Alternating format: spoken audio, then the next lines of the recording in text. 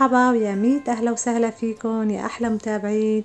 وين ما كنتوا عم تتابعوني إن شاء الله تكونوا بخير بأحسن أيامكم ويعطيكم ألف عافية. وصفتنا لليوم سوتلاج على الطريقة التركية أو رز بحليب على الطريقة التركية. تابعوا معي نشوف طريقة التحضير والمقادير سوا.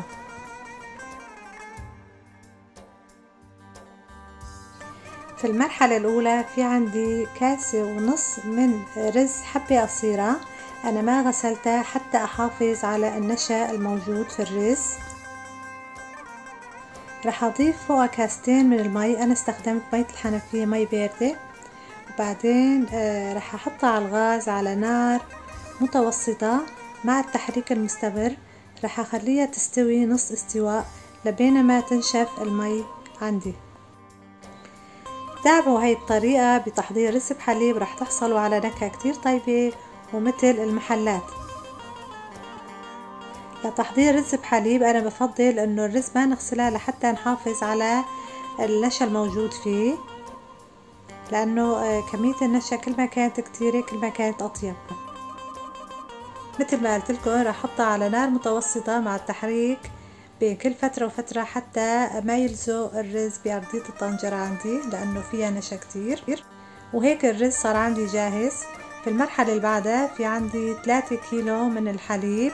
أنا الحليب غليته وبعدين رح أضيف الرز. بفضل إنه أغلي الحليب حتى أتأكد إنه الحليب ما فرط عندي. وبعدين رح نضيف الرز يلي سلقته.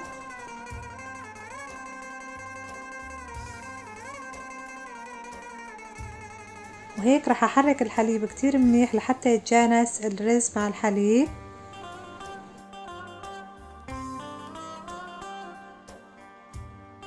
بالخطوة اللي بعدها في عندي كاسة كبيرة من الحليب البارد. أنا حطيت الحليب على طرف كاسة كبيرة حتى أدوب فيه النشا. أو فينا نستبدله بماء بارد كمان بصير. رح أضيف خمس معالق طعام من النشا.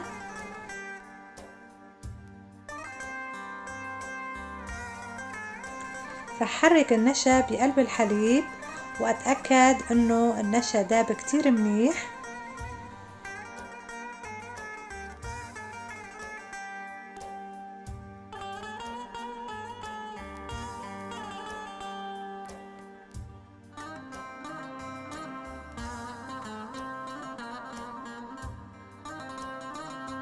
بعد ما تأكدت إنه النشا داب كتير منيح رح أضيفه فوق الحليب. هون عندي الحليب عم بيغلى حطيت معه رز. آه رح أضيفه على مراحل آه شوي شوي لحتى يتجانس كله مع بعض مع التحريك المستمر بين كل فترة وفترة. مثل ما واضح عليكم بالفيديو.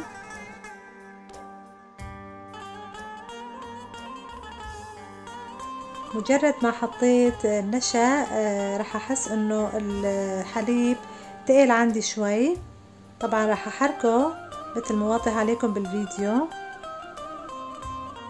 مثل ما قلت لكم حبايبي راح نحركه بين كل فترة وفترة لأنه رز بحليب فيها كمية من النشا فممكن يهبط ويلزق بأرضية الطنجرة. هون راح نضيف السكر. بالنسبة للسكر أنا حطيت كاستين كبار ونصف من السكر. ممكن تحطوا أقل أو أكتر حسب نسبة الحلاوة اللي انتو بتحبوها. طبعا كمان رح نحرك كتير منيح لحتى يدوب السكر عندي. أنا دقت الحليب فحسيت إنه كاستين ونص بكفي.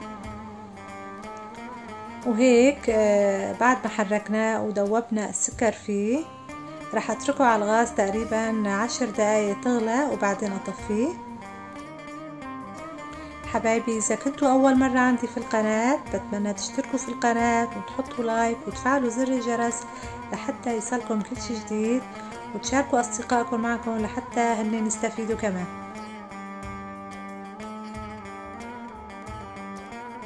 وآخر شي قبل ما أطفي الغاز رح أضيف ظرف من الفانيلا وأحركه كتير منيح لحتى يدوب الفانيلا وهيك بيكون سماكة الرز صارت عندي منيحة.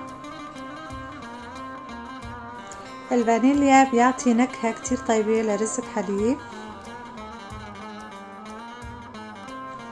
هيك حبايبي آه، رسب حليب صار عندي جاهز.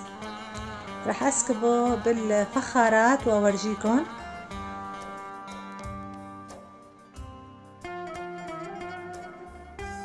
وهيك صار عندي جاهز للسكب. أنا رح أسكبهم بالفخارات لحتى أحطهم بالفرن. رح أحطهم بالفرن آه، في الرف الوسط على درجة حرارة 150 رح أشغل من فوق بس لحتى يحمر من فوقه آه، مثل الجاهز وشغل المحلات. رح أورجيكم بآخر الفيديو. رزق حليب بيتقدم هو بارد كتير طيب خاصة هلا بالصيف. وهيك الصينية صارت عندي جاهزة. رح أسكب مي مغلية بأرضية الصينية لحتى ما تلزق الفخارات وتنشف عندي رسب حليب. ومثل ما قلت لكم رح أحطها بس من سبع دقايق لعشر دقايق بالفرن وأشغل بس من فوق لحتى يتأمر بس مو أكتر.